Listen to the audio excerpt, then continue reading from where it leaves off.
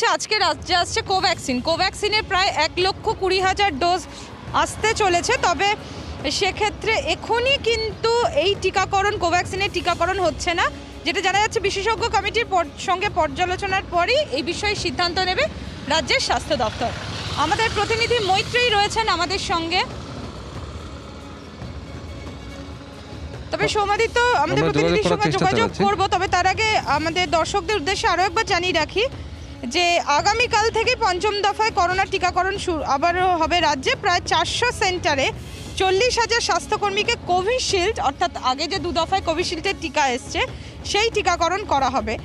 আর যেটা জানাচ্ছিলাম যে একবার প্রথম দফায় কোভিশিল্ড এসছিল ছ লক্ষ উননব্বই হাজার ডোজ এবং দ্বিতীয় দফায় রাজ্যে এসছে কোভিশিল্ডের ছ লক্ষ। নিরানব্বই হাজার ডোজ। মানে প্রায় ওই চোদ্দ লাখের কাছাকাছি আর কি।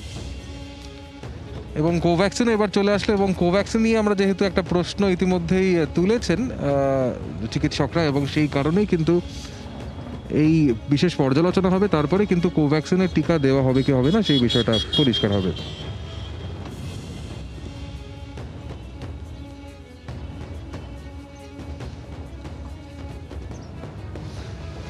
অন্যদিকে আরও একটি বিষয় দর্শকদের জানিয়ে রাখব, যেটা জানতে পারা যাচ্ছে, রাজ্য কিন্তু নজির গড়ল করোনার সুস্থতার দিক থেকে। কারণ মোট সুস্থ হওয়ার সংখ্যা, সুস্থতার হার দুটি মাপকাঠিতেই রেকর্ড করল বাংলা।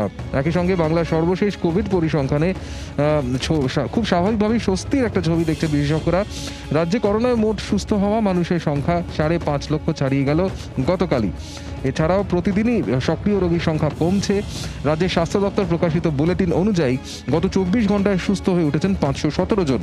বর্তমানে মোট সুস্থ হয়ে ওঠা মানুষের সংখ্যা পাঁচ লক্ষ পঞ্চাশ হাজার দুশো ছেষট্টি জন। সেই সঙ্গে গত সোমবারই সুস্থতার হারে রেকর্ড সাতানব্বই শতাংশ স্পর্শ করা, করেছিল আর কি পশ্চিমবঙ্গ। বৃহস্পতিবার আরও কিছুটা বেড়ে সাতানব্বই দশমিক শূন্য ছয় শতাংশ হয়েছে সুস্থতার হার, যেটা বলা যেতেই পারে গোটা দেশের মধ্যে একটা নজির সৃষ্টি করেছে।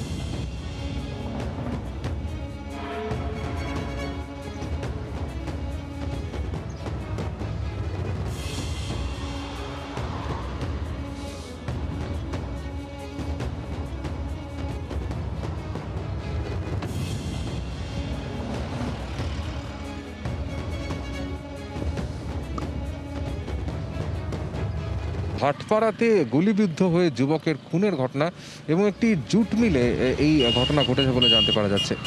একেবারেই সৌমাদিত্য ভাটপাড়া কলা বাগানে যুবককে গুলি করে খুন। জে জে আই, তুমি যেটা জানালে জে জে আই জুটমিল এলাকার সামনে গুলি করে খুন করা হয় বত্রিশ বছরের অনুপ চৌধুরীকে।